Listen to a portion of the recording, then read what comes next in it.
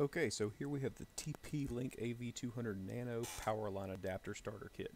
Now, basically this is a really cool way if you are on a wireless system in your home for whatever reason. My reason is we're on wireless because the house was built in the early 90s, so Ethernet was not really used because cable and high-speed internet wasn't really a thing in the early 90s. So we have this house that isn't wired for it, so of course we use wireless throughout the house but wireless does have limitations, especially when you're using like the default modem that comes with your internet provider, all that kind of stuff. We don't use that, but we use one similar. So it, the our speeds on average were around like 9, maybe 11 megabytes a second on a good day. And this is honestly, I, I, I heard about this product and I was like, well, this makes no sense. It's still wireless, right? So essentially, the product is you hook up these two little adapters that go directly into your wall outlet. And that's important. It can't go into like a surge protector or any secondary outlet. It goes straight into the wall. And uh, it just has two little buttons. They pair up with each other. You put the Ethernet cable into one on one side, like it is in my house right here, and you put the other Ethernet cable and other wall adapter near your computer, television, whatever you're trying to hook up to this stuff. There's my wife actually pushing the pair button. You push the pair button, they pair up with each other after about a minute or so, and then all of a sudden you have very, very fast internet speeds. And you're about to see in about, I'd say, 30 seconds or so, the various tests. The first test will be just over the wireless and what it looks like.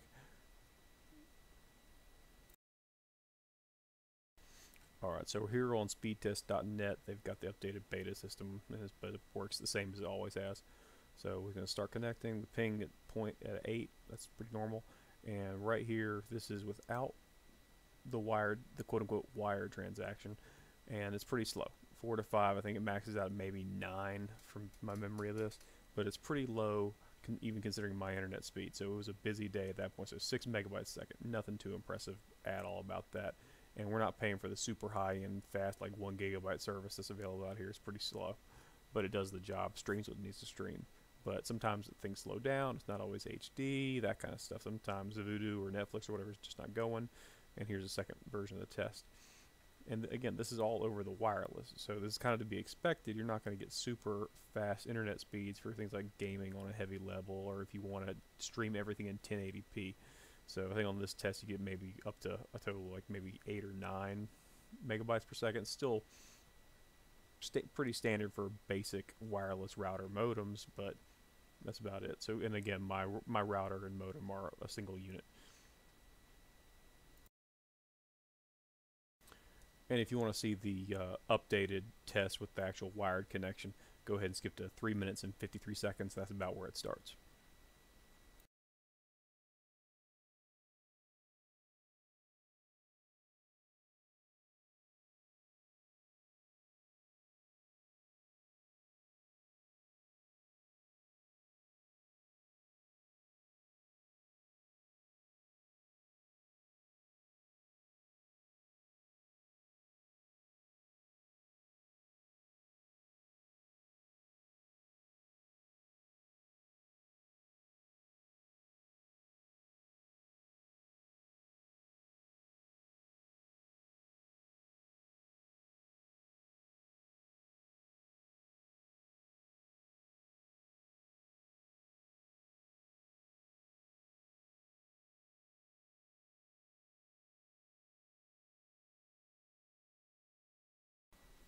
Alright, so this is the connection with speedtest.net with the wired power line adapter from TP-Link.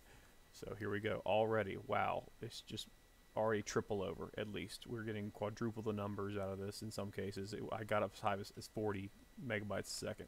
And for my internet connection, that's not topping it out, but it's getting pretty close to topping it out. Now it says it can get 200 megabytes a second, but I don't know if that would really be the case. I don't think. I think it'd be pretty. You'd have to have some really fast internet to get that 200 megabytes max out of it. So like if you had like the one gig connection or something, you probably get there. But even it'd be pretty tough.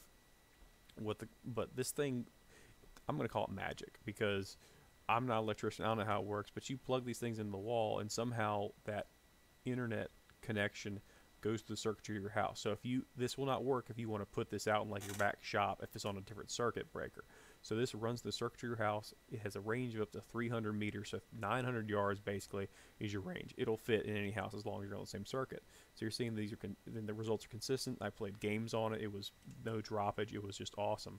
And for 25 bucks, I mean, you can't beat this. It's a huge upgrade for your internet. It feels like wireless because you have that versatility, and you can keep on adding on little adapters all through your house where you need them. And I might do a follow-up video, basically seeing if there's any loss in performance as time goes on if you add more and more adapters. But I would imagine there wouldn't. That would not be the case.